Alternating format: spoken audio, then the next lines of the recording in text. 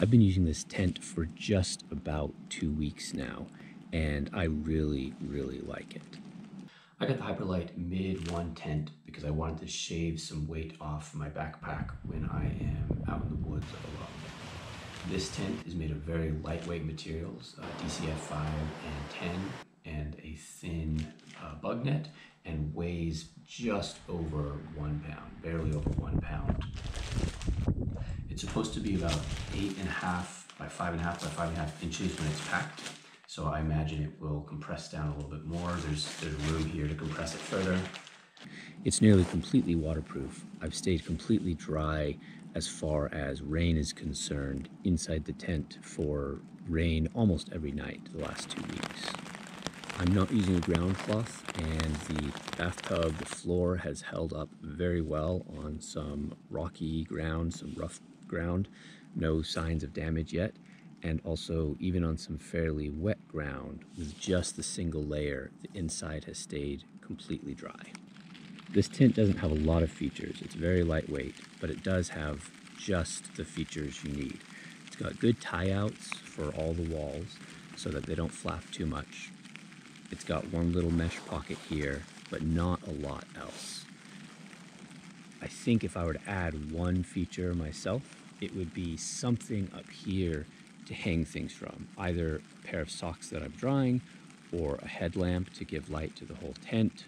Another great thing about the tent is its length. I can lie fully stretched out with plenty of room below my feet and above my head so that my feet nor my head are touching the walls of the tent.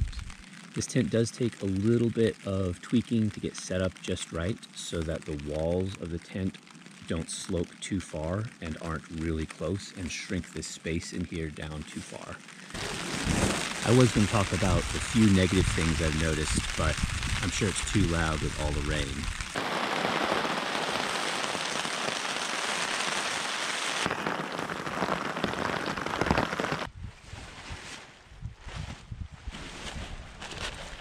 This tent is fairly easy to roll up and fit back in its bag as well.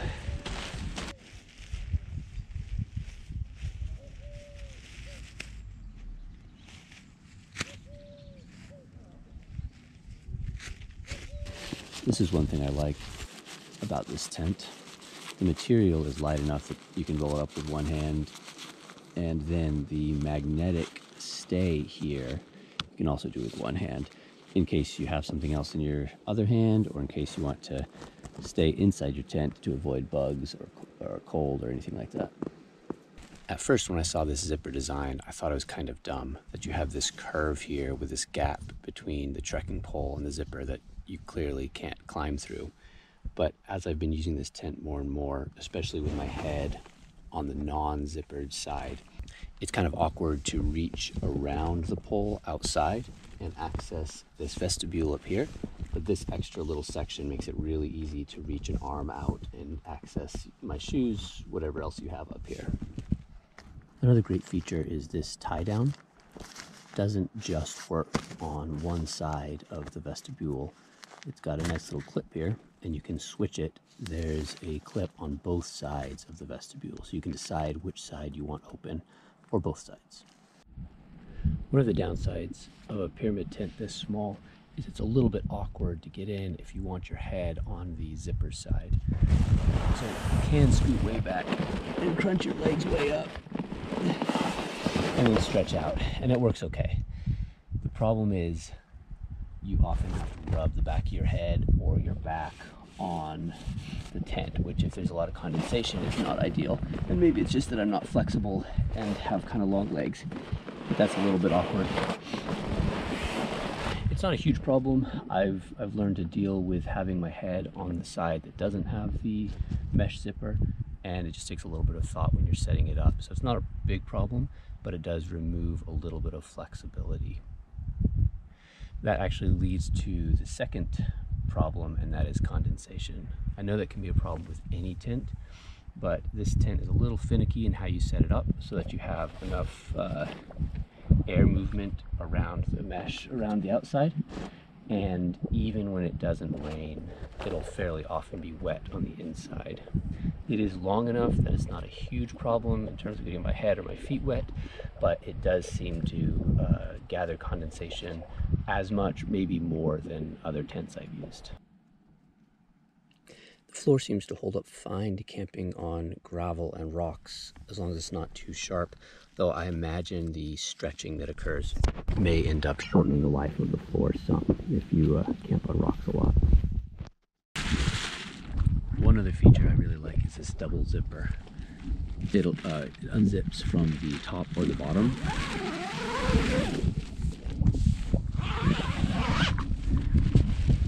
And it allows you to set up in the rain and just reach inside, keeping both flaps closed, keeping the inside dry.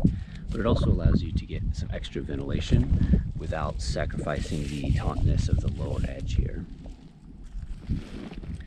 Because of the Dyneema and because of the pyramid design, this tent is a little bit loud in the wind. The walls flap. In a gentle breeze like it is right now, it's, it's not unpleasant. On a really windy night, this can move around a lot. And one night it kept me up a good bit of the night. A very blustery, loud, windy night, even with earplugs in. On warm, sunny rest days, the sun comes right through this thin material. It's very hot in the tent, and also I would probably get a sunburn through here.